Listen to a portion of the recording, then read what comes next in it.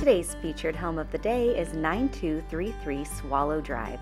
This is a five bedroom, eight bathroom, 7,308 square foot home going for 10,495,000. Now, at first glance, you might think that this is one of the famous Los Angeles case study homes, but this was actually designed by Bradley Bayou and built in 2015. This property has an infinity pool and jacuzzi, a library, a wet bar, a gym, a wine cellar, and a screening room. What really drew me to this property beyond this incredible architecture is just the indoor outdoor living. It feels like an oasis. Look at this bathroom. The shower leads into the backyard. It feels like you are teleported into just some magical place, and to me, that is a perfect home. There's really something about the architecture in this place, no matter where you look, that grabs you.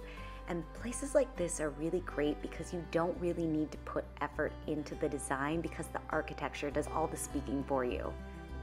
This home is located in the Bird Street neighborhood, which is known for just being lush, tranquil, and having amazing views. Don't forget to like and subscribe for more.